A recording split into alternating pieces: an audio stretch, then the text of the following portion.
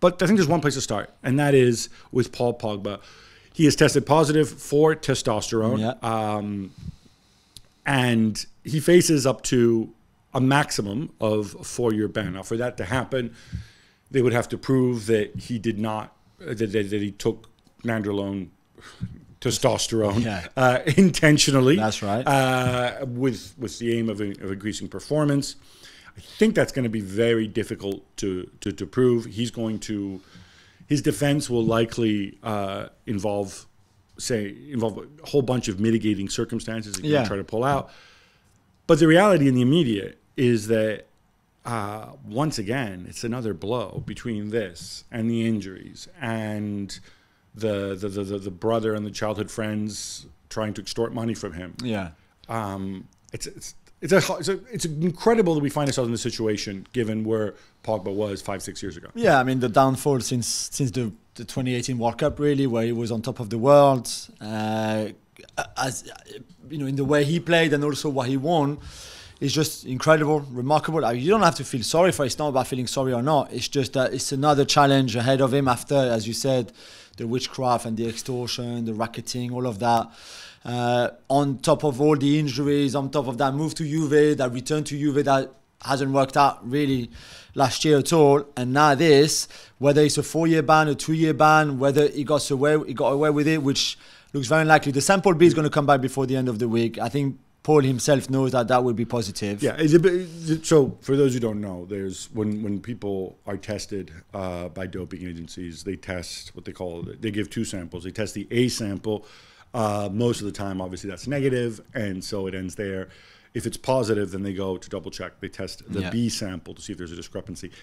Frankly, in 99.99% of cases, because it's the same sample, as long as they did it correctly the first time, the second one will be coming back positive. The assumption here is certainly that it will be coming back positive. Yeah, and, and Paul has admitted to Juventus that he took some food supplements that were given to him in the US in Miami by a doctor who's been his friend for a long time, and that, that those nutritional supplements have testosterone in them.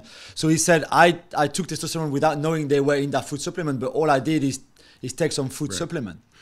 Now, the the issue I have with that um, is that I every athlete knows that before you even take an aspirin, you check the club doctor. If the club doctor is not there, you at least read the labels Yeah. on. In this occasion, it didn't happen. The doctor who gave it to him as well. I don't know who this guy is, and you know, I give you a food supplement. I know you're a professional athlete. It's not like, oh look, it's my friend Paul. Like you know, he he works at the corner shop. No, it's my friend Paul who happens to be a famous professional athlete. Yeah. I know I'm a doctor. I have a responsibility to go and check this as well, right? Yeah. Uh, obviously, the final responsibility is always going to be with Pogba. Um, ignorance is not an excuse, but I, I I just find this like an incredible chain of events that you would allow this to happen if you're if you're Pogba. Yeah, especially at 13. If you were a young, young player, maybe didn't really know about everything, maybe. But now he's 30, he's, he's got experience, he knows far too well what can happen. He's seen it before, obviously. And you're right. I mean, I apologize to Juve for not asking, for not mentioning to the club, for not asking the permission to the club doctor to take it. Can I take this or not? This came from the US where it's allowed, by the way, which is not the case in Europe for that food supplement. And maybe he thought it was okay because you could get in Miami, and he thought it was okay in Turin, Paris, Madrid, London, wherever. It- It's also, I mean, just to be clear on this, and I know there's a cohort out there who's convinced that all footballers are taking performance enhancing drugs all the time and whatever else. I have my own views on this. But if you are going to dope and cheat, this is not the time.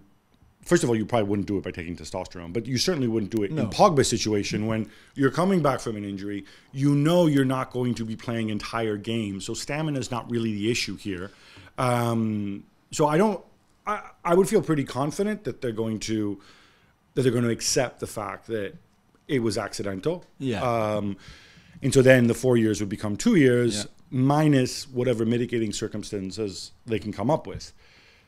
But frankly, Juls, I don't see too many more uh, how they can reduce this. and as most people know, it's written into his contract. If you test positive, we can cancel your contract. And I think that is a that is a decision Juve are going to have to make Yeah. if if he's found guilty.